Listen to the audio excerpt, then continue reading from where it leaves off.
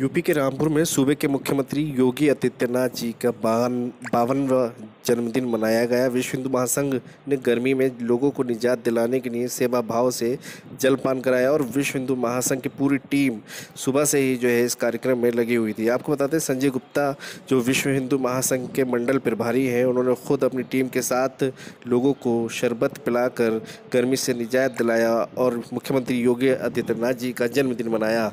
इस अवसर पर जो है संजय गुप्ता जी ने कहा है कि इंसानियत का जो है पैगाम देना ही हमारा कर्तव्य है। इसके अलावा आपको बता दें, योगी जी मुख्यमंत्री योग जो है, उत्तर प्रदेश में जिस तरीके का विकास करा रहे हैं और लोगों की जो है मदद कर रहे हैं, इससे साफ़ मंशा है कि हम भी उसी तरीके से उनको जो है उपाधि दें और मुख्यमंत्री जी का जो है जन्मदिन मनाए। तो आज जलपान कराने के बाद जो है मुख्यमंत्री का जन्मदिन मनाया गया और बड़ा संदेश दिया गया। Bureau report, Q Bharat, Uttar Pradesh, Uttarakhand. सेवा का काम बहुत पुण्य का काम है भाई साहब।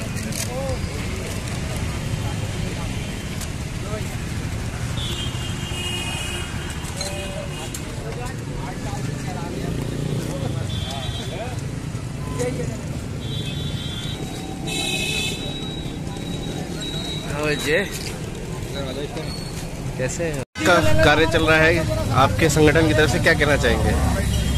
तो प्रभारी जी हाँ बराबर में विश्व हिंदू महासंघ की तरफ़ से कार्यक्रम चल रहा, महाराज जी के बावनवे जन्म दिवस को लेकर के। उनकी दीर्घायु की कामना करते हुए संगठन के पदाधिकारी कामना करते हैं कि महाराज जी की दीर्घायु हो, वो हमारे लिए हमेशा हमारे सरप्रस्त बने रहें। यही मैं कामना करता हूँ। जय हिंद, जय भारत।